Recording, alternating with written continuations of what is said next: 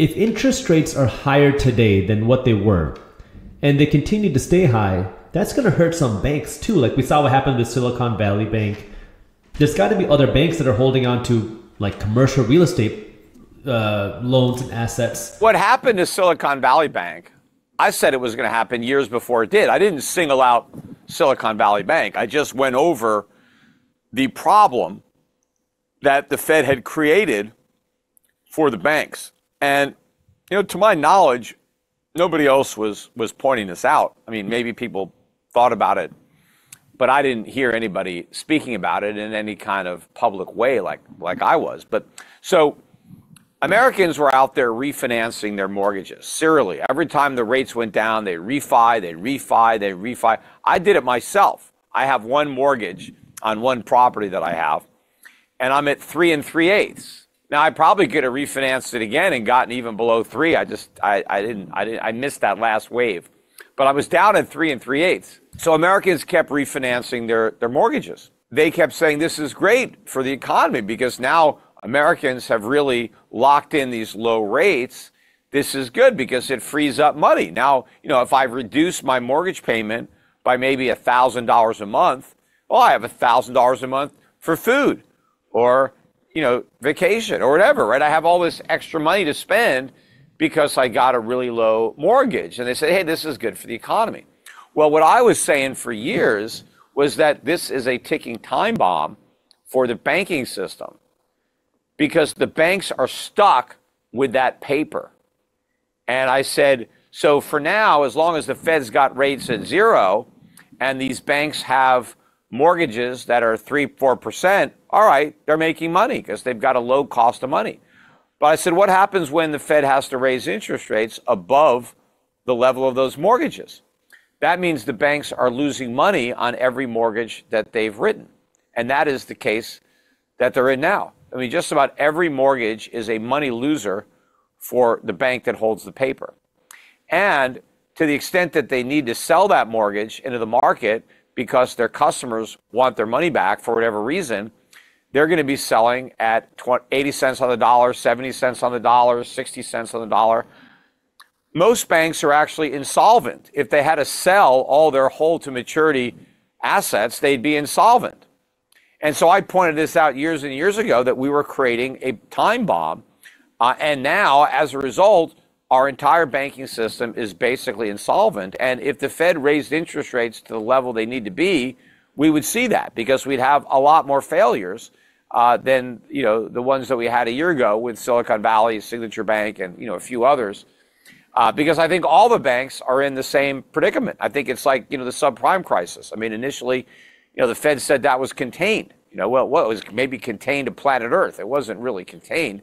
But at the time, I said that this was the tip of the iceberg. It wasn't contained. It, it was just that it showed up in the subprime market first because that was, you know, the weakest link in the chain. But, you know, eventually all the mortgages would have a similar problem. And that's what happened. I mean, some of the banks that failed a year ago, they were just the weakest ones. They were the ones that you know, had the most amount of their deposits yanked and they were exposed to these loans. And it's not just mortgages, it's treasuries. Banks are losing a fortune on their treasury bonds. They were lending money to the government, they were buying these long term treasury bonds with a 2 or 3% coupon. And that was fine when they borrowed from the Fed at zero and loaned to the Treasury at three. But now that they're borrowing from the Fed at five and they're stuck with 3% paper, they're losing a lot of money. So if we break that down, because I think there's a lot just in that. If I'm a bank and I lent you money to buy a home for, let's say, three and a half percent, but now mortgage rates are close to seven percent, double that. You're saying that because I've already issued that loan, you're only paying me back three and a half percent. I'm losing money or I'm underwater as the bank on that mortgage because right. interest rates are higher today. And let's say I went to sell that mortgage.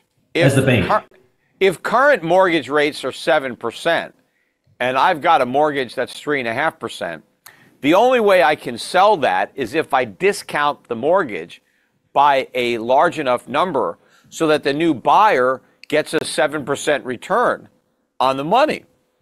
And so that means that I can't sell the mortgage for 100 cents on the dollar. Maybe the mortgage was for 500,000, but in order for the yield to be uh, seven percent, and I, not, I'm not, I don't have a bond calculator, so I'm not doing this exact. But let's say in order to get that yield, the most I can sell that mortgage for is three hundred fifty thousand dollars, right? Well, that means I lose one hundred fifty thousand dollars on the transaction. Well, these banks are highly leveraged. I mean, they've got you know a tiny amount of reserves. So if they take that kind of haircut on a bunch of loans, that could wipe out all their capital. And I think that's one of those things that it isn't a problem until it becomes a problem because, well, if a bank is underwater, eh, you can be underwater in your home. It's not a problem unless you can't make your payments. It's yeah, not a problem well, until and, you have and to what happens with the bank? Let's say I've got a five hundred thousand dollar mortgage that I can only sell for three hundred fifty thousand dollars. The bank is not required to write down that asset on its balance sheet. It can just claim, well, I'm going to carry it at 500,000 because I'm going to hold it till it matures 25 years from now. Well, that may be your intention, but you may not be able to do it. If there's a run on the bank, uh, you can't say, well, we're sorry, we're holding our mortgages to maturity. No, if your depositors decide they want their money, you got to sell that hold to maturity asset, and then you're going to get what it's actually worth. And if, you know, all these banks have been living in a financial fiction because they haven't marked those assets to market, and now all of a sudden they have to sell them, well, the banks are immediately insolvent. But in the case of mortgages, I, at least in that instance, if it's a $500,000 mortgage, hopefully the home is worth, let's just say $600,000. But I think it's even worse in some commercial real estate instances where you have an office building that is a $10 million mortgage at 3%, where the building's only worth $5 million now because it's vacant. Yeah, well, because- it's a very different situation. So in residential real estate, the banks are just losing money on every mortgage they have, not because their real estate has gone down. In fact, their real estate has gone up. They're losing money because uh, interest rates have gone up and, and the value of those mortgages that they own have crashed. And that also creates an incentive for the borrower to stay in the home the banks would love these homes to be sold so that the mortgages would be repaid. But the homeowners, they don't want to sell these homes because they don't want to repay these mortgages. They want to keep these mortgages because it's very cheap money. Um, but the commercial real estate is a completely different ballgame. There, real estate prices have crashed. And in um, the commercial world, you don't have 30 year fixed rate mortgages. I mean, most of the commercial mortgages are three, five years, maybe seven, 10 max, right? So these loans are coming due. And the borrowers don't want to roll them over or can't even roll them over because the collateral has lost so much value. I mean, if I borrowed $100 million to buy an office building that's now worth 75 million or even 50 million, the smart move for me to do is just walk away, just like you know people did uh, on their residential homes during the uh, 2007 8 you know bust. And the banks are going to lose a fortune on those commercial loans because commercial commercial real estate has gotten killed uh, from a number of factors. I mean, one is rising interest rates itself means commercial real estate is less valuable because it's valued like a bond. You have a cap rate and the lower the interest rate, the more the property is worth. And so when interest rates went from zero to 5%, that automatically meant that commercial real estate values came down quite a bit. But then you had two other things that happened. One, for the retail sector, you had a real nightmare because so many people started shopping online over the last five or 10 years that a lot of these stores are not, you know, selling enough because their customers are shopping on Amazon. Um, also, what's happened, you know, ever since uh, COVID or you know the George Floyd protests, is crime has skyrocketed in uh, a lot of these retail outlets. So their their losses due to theft have gone off the charts, um, and so a lot of these retailers they just want to shut down their operations. You know, they don't, they don't want these stores anymore because they can't make money. Uh, the police don't enforce the laws. Their insurance rates have skyrocketed. So you have lower sales because of co- online competition. And then a lot of your stuff is just getting stolen by uh, by people who you know are emboldened by the lack of legal enforcement, uh, and so this is killing the the real estate market for uh, retail. You know, shopping centers, uh, strip malls, you know, whatever. You know, just stores. So that's one part of the commercial real estate. The other part is office buildings. So office buildings got clobbered because so many people are working from home.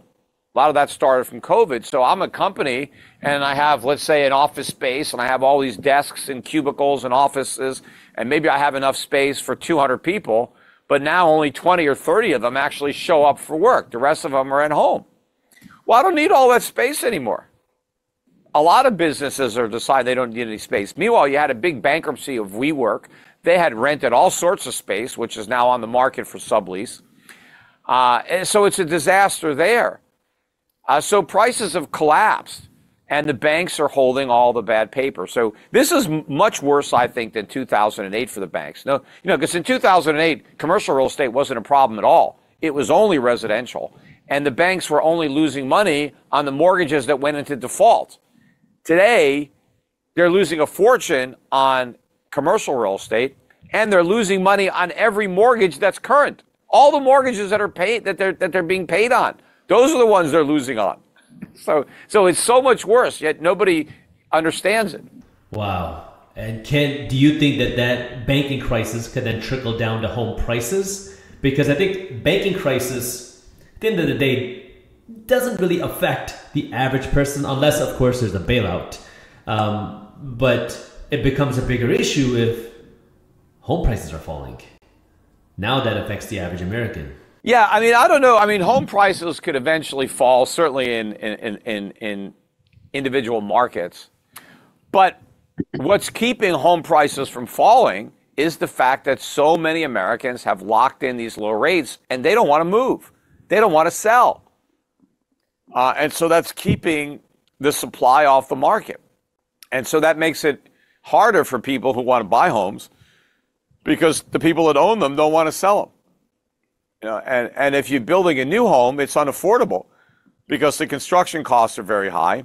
And then once it's constructed, you got to borrow money. Now, the, the home builders have been buying down the mortgages, um, but that in effect reduces the price that they're getting for their homes. So I'm not really sure you know, how much margin they make on these homes when they've got to buy down the mortgage.